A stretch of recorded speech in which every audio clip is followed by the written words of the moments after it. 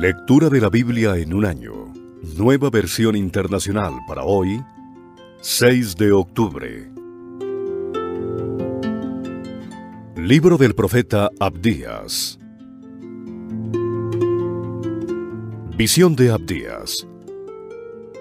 Hemos oído una noticia de parte del Señor y un mensajero ha sido enviado a las naciones diciendo, Vamos, marchemos a la guerra contra ella. Así dice el Señor Omnipotente acerca de Edom.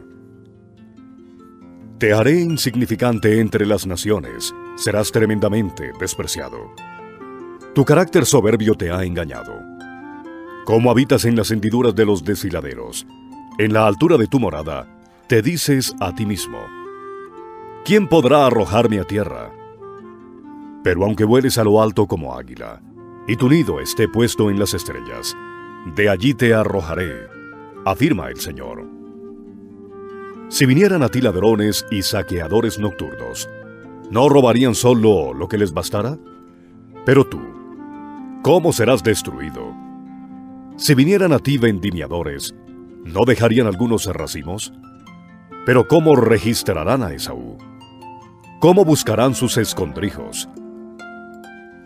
Hasta la frontera te expulsarán tus propios aliados. Te engañarán y dominarán tus propios amigos. Los que se sientan a tu mesa te pondrán una trampa. Es que Edom ya no tiene inteligencia. ¿Acaso no destruiré yo en aquel día a los sabios de Edom? ¿A la inteligencia del monte de Esaú? Afirma el Señor. Ciudad de Temán, tus guerreros se caerán de miedo, a fin de que todo hombre sea exterminado del monte de Esaú por la masacre. Por la violencia hecha contra tu hermano Jacob, te cubrirá la vergüenza, y serás exterminado para siempre. En el día que te mantuviste aparte, en el día que extranjeros llevaron su ejército cautivo, cuando extraños entraron por su puerta y sobre Jerusalén echaron suerte, tú eras como uno de ellos. No debiste reírte de tu hermano en su mal día, en el día de su desgracia. No debiste alegrarte a costa del pueblo de Judá en el día de su ruina. No debiste proferir arrogancia en el día de su angustia. No debiste entrar por la puerta de mi pueblo en el día de su calamidad. No debiste recrear la vista con su desgracia en el día de su calamidad. No debiste echar mano a sus riquezas en el día de su calamidad. No debiste aguardar en los angostos caminos para matar a los que huían. No debiste entregar a los sobrevivientes en el día de su angustia. Porque cercano está el día del Señor contra todas las naciones. Edón, como hiciste se te hará. Sobre tu cabeza recaerá tu merecido. Pues sin duda que así como ustedes israelitas bebieron de mi copa en mi santo monte, así también la beberán sin cesar todas las naciones. Beberán y engullirán, y entonces serán como si nunca hubieran existido. Pero en el monte Sión habrá liberación y será sagrado. El pueblo de Jacob recuperará sus posesiones. Los descendientes de Jacob serán fuego, y los de José llama. Pero la casa real de Esaú será estopa le pondrán fuego y la consumirán, de tal forma que no quedará sobreviviente entre los descendientes de Esaú. El Señor lo ha dicho. Los del Negev poseerán el monte de Esaú, y los de la Cefelá poseerán Filistea. Los israelitas poseerán los campos de Efraín y de Samaria, y los de Benjamín poseerán Galaad. Los exiliados, este ejército de israelitas que vive entre los cananeos, poseerán la tierra hasta Sarepta. Los desterrados de Jerusalén, que viven en Sefarad, poseerán las ciudades del Negev, y los libertadores subirán al monte Sión para gobernar la región montañosa de Esaú. Y el reino será del Señor. Libro del profeta Jonás Jonás, capítulo 1 La palabra del Señor vino a Jonás, hijo de Amitai. Anda, ve a la gran ciudad de Nínive y proclama contra ella que su maldad ha llegado hasta mi presencia. Jonás se fue, pero en dirección a Tarsis, para huir del Señor. Bajó a Jope, donde encontró un barco que zarpaba rumbo a Tarsis. Pagó su pasaje y se embarcó con los que iban a esa ciudad, huyendo así del Señor. Pero el Señor lanzó sobre el mar un fuerte viento, y se desencadenó una tormenta tan violenta que el barco amenazaba con hacerse pedazos. Los marineros, aterrados y a fin de aliviar la situación, comenzaron a clamar cada uno a su Dios y a lanzar al mar lo que había en el barco. Jonás, en cambio, que había bajado al fondo de la nave para acostarse, ahora dormía profundamente. El capitán del barco se le acercó y le dijo, ¿Cómo puedes estar durmiendo? Levántate, clama a tu Dios, quizás se fije en nosotros y no perezcamos.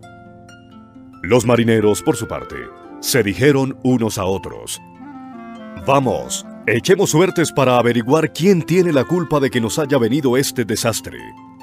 Así lo hicieron, y la suerte recayó en Jonás. Entonces se le preguntaron, Dinos ahora, ¿quién tiene la culpa de que nos haya venido este desastre? ¿A qué te dedicas? ¿De dónde vienes? ¿Cuál es tu país? ¿A qué pueblo perteneces? Soy hebreo y temo al Señor, Dios del cielo, que hizo el mar y la tierra firme. Les respondió. Al oír esto, los marineros se aterraron aún más, y como sabían que Jonás huía del Señor, pues él mismo se lo había contado, le dijeron, ¿Qué es lo que has hecho? Pero el mar se iba enfureciendo más y más, así que le preguntaron, ¿Qué vamos a hacer contigo para que el mar deje de azotarnos? Tómenme y láncenme al mar, y el mar dejará de azotarlos. Les respondió, Yo sé bien que por mi culpa se ha desatado sobre ustedes esta terrible tormenta. Sin embargo, en un intento por regresar a tierra firme, los marineros se pusieron a remar con todas sus fuerzas, pero como el mar se enfurecía más y más contra ellos, no lo consiguieron. Entonces clamaron al Señor, Oh Señor, tú haces lo que quieres.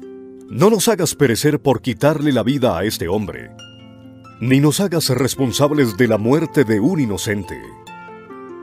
Así que tomaron a Jonás y lo lanzaron al agua. Y la furia del mar se aplacó.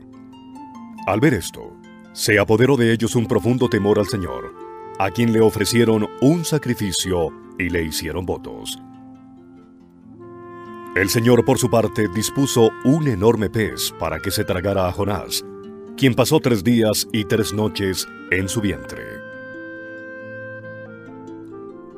Jonás, capítulo 2 Entonces Jonás oró al Señor su Dios desde el vientre del pez. Dijo, En mi angustia clamé al Señor, y él me respondió. Desde las entrañas del sepulcro pedí auxilio, y tú escuchaste mi clamor. A lo profundo me arrojaste, al corazón mismo de los mares. Las corrientes me envolvían. Todas tus ondas y tus olas posaban sobre mí. Y pensé, he sido expulsado de tu presencia. ¿Cómo volveré a contemplar tu santo templo? Las aguas me llegaban hasta el cuello. Lo profundo del océano me envolvía. Las algas se me enredaban en la cabeza, arrastrándome a los cimientos de las montañas. Me tragó la tierra, y para siempre sus cerrojos se cerraron tras mí. Pero tú, Señor, Dios mío, me rescataste de la fosa. Al sentir que se me iba la vida, me acordé del Señor, y mi oración llegó hasta ti, hasta tu santo templo. Los que siguen a ídolos vanos abandonan el amor de Dios yo, en cambio, te ofreceré sacrificios y cánticos de gratitud. Cumpliré las promesas que te hice. La salvación viene del Señor. Entonces el Señor dio una orden, y el pez vomitó a Jonás en tierra firme. Jonás, capítulo 3 La palabra del Señor vino por segunda vez a Jonás. Anda, ve a la gran ciudad de Nínive y proclámale el mensaje que te voy a dar. Jonás se fue a Nínive conforme al mandato del Señor. Ahora bien, Nínive era una ciudad grande y de mucha importancia. Jonás se fue internando en la ciudad y la recorrió todo un día mientras proclamaba, Dentro de cuarenta días Nínive será destruida. Y los ninivitas le creyeron a Dios, proclamaron ayuno, y desde el mayor hasta el menor se vistieron de luto en señal de arrepentimiento. Cuando el rey de Nínive se enteró del mensaje, se levantó de su trono, se quitó su manto real, hizo duelo y se cubrió de ceniza. Luego mandó que se pregonara en Nínive. Por decreto del rey y de su corte, ninguna persona o animal, ni ganado lanar o vacuno probará alimento alguno, ni tampoco pastará ni beberá agua. Al contrario, el rey ordena que toda persona, junto con sus animales, haga duelo y clame a Dios con todas sus fuerzas. Ordena asimismo que cada uno se convierta de su mal camino y de sus hechos violentos. ¿Quién sabe? Tal vez Dios cambie de parecer y aplaque el ardor de su ira y no perezcamos. Al ver Dios lo que hicieron, es decir, que se habían convertido de su mal camino, cambió de parecer y no llevó a cabo la destrucción que les había anunciado. Jonás, capítulo 4 Pero esto disgustó mucho a Jonás, y lo hizo enfurecerse. Así que oró al Señor de esta manera. Oh Señor, ¿no era esto lo que yo decía cuando todavía estaba en mi tierra? Por eso me anticipé a huir a Tarsis. Pues bien sabía que tú eres un Dios bondadoso y compasivo, lento para la ira y lleno de amor, que cambias de parecer y no destruyes.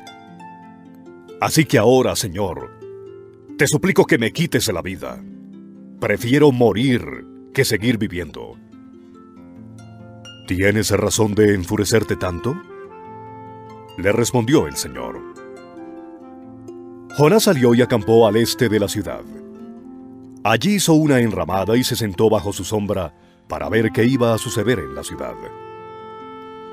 Para aliviarlo de su malestar, Dios el Señor dispuso una planta, la cual creció hasta cubrirle a Jonás la cabeza con su sombra. Jonás se alegró muchísimo por la planta, pero al amanecer del día siguiente, Dios dispuso que un gusano la hiriera, y la planta se marchitó. Al salir el sol, Dios dispuso un viento oriental abrasador. Además, el sol hería a Jonás en la cabeza, de modo que éste desfallecía. Con deseos de morirse, exclamó, Prefiero morir que seguir viviendo. Pero Dios le dijo a Jonás, ¿Tienes razón de enfurecerte tanto por la planta? Claro que la tengo, le respondió me muero de rabia. El Señor le dijo, Tú te compadeces de una planta que, sin ningún esfuerzo de tu parte, creció en una noche y en la otra pereció. Y de Nínive, una gran ciudad, donde hay más de 120 mil personas que no distinguen su derecha de su izquierda, y tanto ganado, ¿no habría yo de compadecerme?